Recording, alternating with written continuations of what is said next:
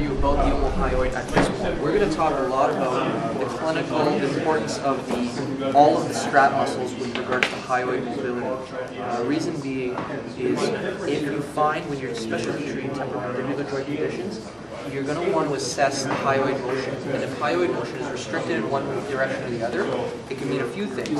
It could mean overactivity of one of the digastric muscles, which is the muscle opening the jaw, um, or it can mean hypertonicity in some of the strap muscles. Either way, if the hyoid is shifted, shifted, if the hyoid is not moving properly, it will affect the way the digastric functions, which will affect opening of the mouth.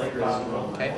So if you have an overactive digastric on the one side, when she opens, it'll pull the jaw laterally. That's not the only reason why the jaw will go laterally. Usually it's a capsular problem or a problem with the functioning of the lateral pterygoid, which we'll get into. But this is definitely something you have to you have to look into. The anterior strap muscles um, are damaged in, in many cases of whiplash.